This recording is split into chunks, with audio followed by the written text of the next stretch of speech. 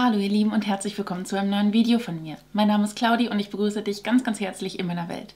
Heute werfen wir einen Blick in die Estee Lauder Blockbuster Bag. Ich glaube 2023 war das, ne? Mhm.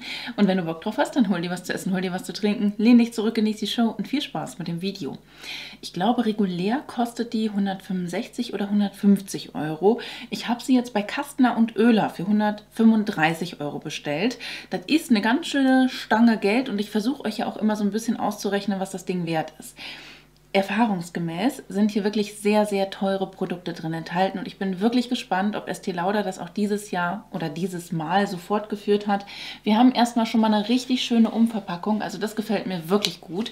Ähm, das ist viel, viel schöner auch als letztes Jahr, muss ich gestehen, denn, ähm, also als es davor das Jahr, denn wir haben hier so eine richtige Stofftasche, wo du hier vorne noch so ein einzelnes äh, Ding hast und dann hast du hier drin auch noch was, dann kannst du es hier so tragen. Also es ist wirklich so ein Beauty Case, was man auch so verwenden kann. Das ist jetzt, glaube ich, werttechnisch auch nicht mit äh, einberechnet. Das muss ich mal gucken, ob das irgendwie mit einberechnet wurde. Und ähm, ja, wie gesagt, wir haben hier zwei verschiedene Möglichkeiten, die zu öffnen. Und äh, ja, wir haben hier Pflege und dekorative Kosmetik drin. Da haben wir einmal das hier und das sieht aus wie ein mega krasses PR-Paket. Das ist wirklich der Wahnsinn. Aber wir haben gleich auch noch eine andere Tasche, wo wir auch noch reinschauen werden. Klar, die Klassiker sind hier natürlich mit dabei. Ähm, da habe ich einmal das Estee Lauder Advanced Night Repair Synchronized Multi-Recovery Complex. Produkt. Das ist ein Serum mit 30 Millilitern und ähm, ja, das ist so ein bisschen würde ich sagen, wie Multivitaminsaft, nee, wie Sanostol, nur halt nicht in so super süß vom Duft her. Und ähm, von der Wirkung im Gesicht ist es bei meiner Haut tatsächlich so, dass ich das nicht so gut vertrage. Ich glaube, da ist zu viel Vitamin C drin, bin ich mir aber nicht ganz so sicher. Morgens und abends kannst du es auftragen, ähm, ist aber an und für sich ein sehr, sehr beliebtes Produkt und für viele auch wahrscheinlich eine, ähm, ja, so eine, ja, Kaufanreiz halt hierfür. Ne? Du hast ja auch eine komplette Skincare-Routine mit dabei. Da hätte ich eigentlich schon anders anfangen müssen, mm, denn du hast hier erstmal ein Double Cleansing am Start. Das heißt, du fängst hier erstmal mit so einem äh, ja, Make-up-Entferner an, Gentle Eye Make-up Remover. Da sind 100 Milliliter drin enthalten. Das ist auch so ein ölhaltiges Produkt. Das kannst du dann verwenden, um ja, dein Augen-Make-up runterzunehmen. Aber natürlich auch, wie beim Double Cleansing auch, das ist ja ein ölhaltiges Produkt. Das machst du dir dann erstmal über die Augen, aber ich würde es auch übers komplette Gesicht geben. Dann hast du zwar so einen Ölfilm auf dem Gesicht, aber den kannst du dann auch nochmal runternehmen mit dem hier, und das kenne ich noch gar nicht, das Advanced Night Cleansing Gel mit 15 Aminosäuren. Das finde ich sehr, sehr spannend. 75 Milliliter haben wir hier drin enthalten, denn das kannst du dir dann wirklich auf das Gesicht geben und mit Wasser abwaschen, also aufemulgieren, dann mit Wasser abwaschen. Und ich denke, damit hast du auf jeden Fall schon mal so ein schönes Double Cleansing ähm, erledigt. Einen Toner haben wir hier nicht drin, aber gut, dann haben wir ja das Serum. Dann haben wir hier als nächstes für die Skincare-Routine eine Augenpflege drin und die ist wirklich groß. Ich glaube, die hatte ich mal in klein und die mochte ich die? Ich glaube wohl. Die ähm, Advanced Night Repair Eye Supercharged Gel Creme und das ist ein Brocken, Leute. Ne? Wir haben hier drin 15 Milliliter, aber das ist wirklich so ein Glastiegel. Das sieht sehr, sehr schön aus und ich meine mich zu erinnern, dass es eine sehr, sehr reichhaltige Creme war. Man muss nur manchmal ein bisschen aufpassen, wenn man sehr sensible Augen hat, kann es sein, dass, ähm, dass es reizend wirken könnte. Jetzt nicht im ersten Moment, wenn du es siehst, sondern dass du da vielleicht so ein bisschen, ja,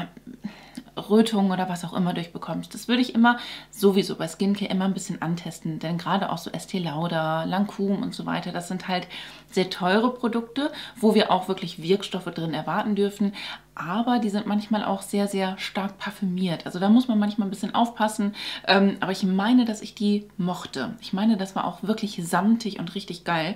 Ähm, muss ich nochmal ausprobieren. Das ist halt echt ein riesiger Tiegel, ne? Richtig, richtig geil. Ja, und um die Hautpflegeroutine halt abzuschließen, haben die hier natürlich auch noch die... Ähm, Creme mit reingepackt und zwar die Revitalizing Supreme Plus Youth Power Cream. Auch hier sind äh, 15 Milliliter drin, genauso viel wie in der Augencreme, finde ich ein bisschen witzig. Äh, das hier ist jetzt kein Glas, sondern Plastik. Also das finde ich wirklich auch ehrlich gesagt richtig gut gemacht, dass du hier mh, mm, schon mal in dieser Blockbuster-Geschichte eine komplette Skincare hast. Ne? Und das jetzt nicht in so Mini-Größen, sondern halt wirklich in respektablen Größen, sodass man da auch wirklich über einen längeren Zeitraum schauen kann, ob einem das auch so zustimmt. Und ich mache dieses Video auch super gerne ähm, und verlinke euch ja auch das Produkt in der Infobox. Ne? Ähm, weil vielleicht schaut ja die ein oder andere zu, die mega auf Estee Lauder abfährt und sich selber was zum Valentinstag schenken möchte oder das vielleicht an den Partner, die Partnerin weitergibt, sodass man das als Geschenk halt ne, irgendwie als Idee nehmen könnte.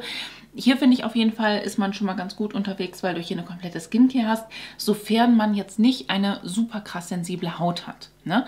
Das sollte man vielleicht bedenken. Als nächstes habe ich jetzt hier vier Lippenprodukte. Finde ich persönlich ein bisschen viel, muss ich gestehen. Also ich hätte mir vielleicht eher gewünscht, dass sie dann ähm, nur ein Lippi, ein Lippengloss, äh, Lipgloss und ein Lipliner hier reingepackt hätten und dafür dann noch irgendwie ein Base-Produkt oder so. Haben sie jetzt nicht. Gut. Ähm, dann habe ich hier nämlich einen Lippenstift und zwar ist das der äh, Limited Edition Lipstick und zwar Saturn, Saturn, Saturn Rain. 3,5 Gramm ist aber eine Originalgröße, ne? Genau. Hier haben wir halt auch wirklich diese Sterne drauf, was ich wundervoll finde. Also es ist halt eher weihnachtlich angehaucht, weil diese Blockbuster-Geschichte eher als Weihnachtsgeschenk-Idee so von Estee Lauder gesehen ist, ne? Das ist natürlich auch mega hübsch. Ich meine, steht die Estee Lauder Kundin auf Einhörner? Ich weiß es nicht. Hier ist eins drauf. Ich finde es toll. Die Farbe ist krass. Also ich habe eine Freundin, die Marie, die wird es hart feiern. Wie wunderschön dieser Bullet aussieht. Und dass das natürlich richtig heftig ist. Ja, auch die Drogerie kann das mittlerweile sehr gut. Das haben wir jetzt auch in diversen Limited Editions gesehen riecht halt auch intensiv, ne? Ähm, und ja, wie gesagt, du hast hier ein Einhorn drauf. Braucht man das? Keine Ahnung. Ich finde es super süß. Halt auch zum Verschenken, weil die Farbe halt volle Elle Barbie ist. Ja gut, was habe ich für einen Lidschatten drauf? Aber ähm, das ist mir zu krass. Das trage ich so halt auch einfach nicht. So ein Lidschattenlook auf jeden Fall. Mm, und dann habe ich ja aus der gleichen LE auch noch den ähm, Lim Edition Limité Starlet Red. Das ist so ein richtiges Rot, hoffe ich mal. Genau, und da haben wir den gleich, das gleiche Pressing auch drauf, halt ihr auch wieder unser Einhorn am Start, ne? Und auch ein paar Sterne und das ist halt so ein richtiges krasses, bläuliches Rot, was ich halt super gerne auch so zu Adventskalender-Unboxings trage oder halt generell in der Winter- und Weihnachtszeit, die bei mir im Prinzip schon im August startet, ne? Solltest du sowas übrigens nicht verpassen wollen, was ich hier so das ganze Jahr übertreibe, Leute, abonniert super gerne den Kanal. Es gibt sehr viele Menschen, die hier gerade zuschauen und das noch nicht getan haben. Also ich würde mich hammermäßig freuen. Klick gerne auf Abonnieren, das würde mich echt glücklich machen. Da bedanke ich mich schon mal im Voraus und äh, freue mich, dass du Teil der Crew geworden bist. Yay! Ähm, nun, auf jeden Fall ist es ein wirklich schönes Rot, passt halt auch einfach komplett zum Packaging der Box. Ne? Das ist schon ganz geil. Ähm, passend dazu haben wir auch noch einen Lip Liner und das finde ich sehr, sehr schön. Also das ist ein original großer Lip Liner, würde ich mal so sagen, 018 Red. Und ich verwende halt immer solche ja, krassen roten Lippenprodukte mit so einem Lip Liner, weil ganz ehrlich, es ist einfach so, ich trinke viel aus Strohhalm, das äh, kriegt ihr auch immer wieder mit. Und wenn man das macht, dann macht man so. Und was entsteht dadurch? Plissé-Fältchen. Die entstehen auch durch andere Dinge. Aber die äh, habe ich halt einfach. Und ähm, dadurch rutschen, also Plissé-Fältchen nennt man das, ist echt freundlich formuliert. Wenn man so macht, so ein Müh und äh, da halt dann diese Fältchen hat. Naja, auf jeden Fall, da rutscht dann gerne alles mögliche an Lippenprodukt bei mir rein und äh, verteilt sich dann irgendwie gefühlt im Laufe des Tages im ganzen Gesicht. Das ist uncool, deswegen sind Lip Liner da einfach eine wundervolle Barriere, um dem Ganzen einen Riegel vorzuschieben. Ähm, die Farbe passt super zu dem Rot, was wir hier auch drin hatten. Das ist halt so ein Plastikstift zum Anspitzen. Ähm, ja, kann man machen, ist auf jeden Fall eine etwas hygienischere Variante als die herausdrehbaren. Das hat alles so seine Vor- und Nachteile. Ich bin gespannt, wie der so ist. Also wird auf jeden Fall mal dann in Test genommen. Denn der, den ich letztes Jahr sehr viel verwendet habe, der ist halt echt Uppe. Ne? Den werde ich auch wahrscheinlich entsorgen müssen, weil der auch gar nicht mehr so gut riecht und einfach schon vier Jahre, fünf Jahre, sechs Jahre offen ist. Nun, zwei weitere Lippenprodukte sind hier noch mit am Start. Ja, wir haben hier schon recht viel Inlay. Das muss man sagen. Ne? Also du hast hier das Inlay, was von hinten hohl ist. Egal, aber dann hat man halt auch diese wunderschöne Tasche mit dabei. Und ich glaube, wir würden uns beschweren, wenn sie zu klein wäre, oder? Weil so ist es halt echt eine gute Verreisetasche für Make-up und Pflege, würde ich sagen. Also für mich auf jeden Fall. Auch wenn ich die von Crash Cosmetics habe und sehr gerne mag. Genau. Ist es Pappe? Das ist Pappe. Das ist schlau. Das finde ich cool. Okay, also zwei Lippis habe ich hier. Das ist äh, auch Originalgröße und auch in dieser wunderschönen Edition mit diesen, ne? Stern und Sternschnuppen drauf. Das ist schon hübsch designt, auf jeden Fall. Mag ich sehr, sehr, sehr gerne. Ich bin ja so eine Frau für, fürs Auge, mag ich sowas. Ruby Quartz Limited Edition Lipgloss. Ein Lipgloss, den kann man dann gegebenenfalls auch über diesen Lippi drüber machen, um dem Ganzen halt nochmal so einen anderen Touch zu verleihen. Dann sieht das etwas glowiger aus. Kann ich mir echt gut vorstellen. Oh, oh, das ist so ein Pinsel. Oh, der riecht süß.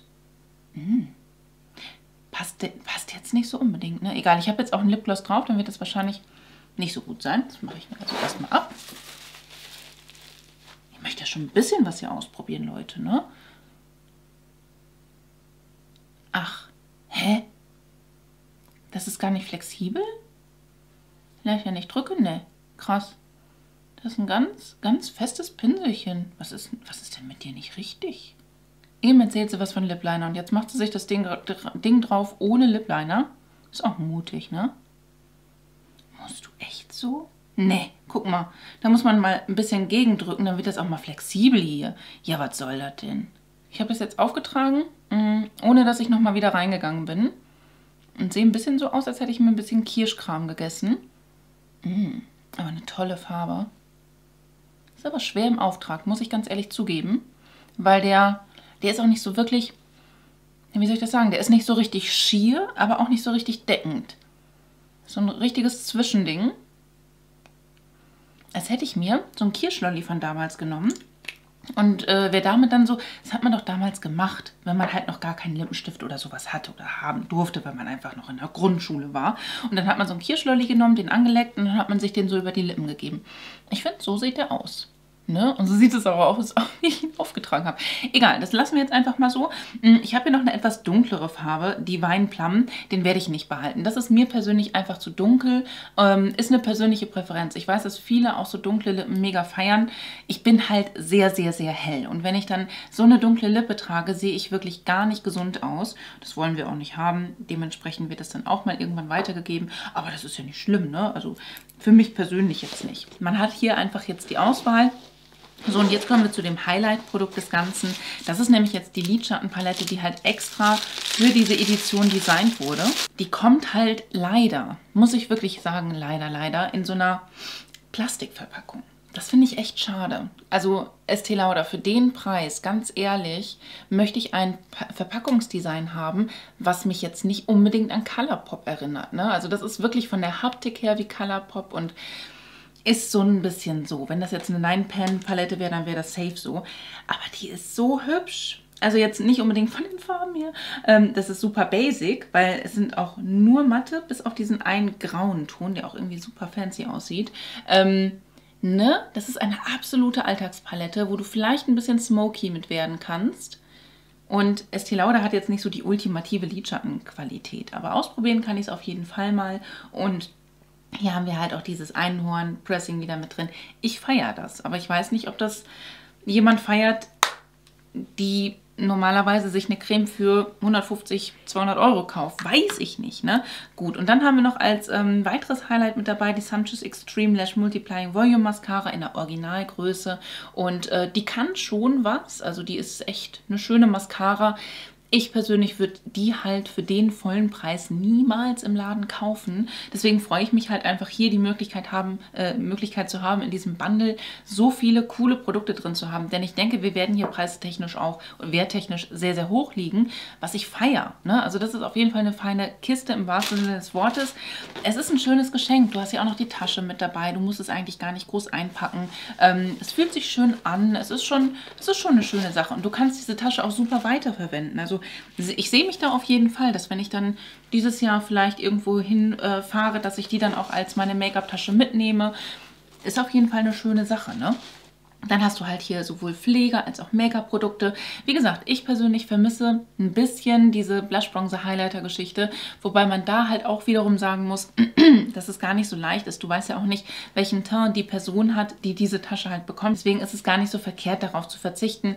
Dennoch, so ein Primer wäre ganz cool gewesen oder ein Puder, das ist schon meins. Aber ich finde es cool, dass wir hier nicht jetzt irgendwie einen schwarzen Kohlkajal drin haben, sondern zum Beispiel einfach einen Lip Liner. Das ist für mich ein definitiver Fortschritt. Schreibt mir mal gerne eure Meinung zu dieser Bag in die Kommentare, da können wir uns super gerne mal austauschen. Und dann wäre es das hier gewesen. Wenn es dir gefallen hat, dann wäre ein Däumchen ein Träumchen. Ansonsten wünsche ich dir einen wunderschönen Tag, einen wunderschönen Abend. Fühl dich ganz doll gedrückt von mir. Lass es dir gut gehen und hoffentlich bis zum nächsten Mal. Ciao!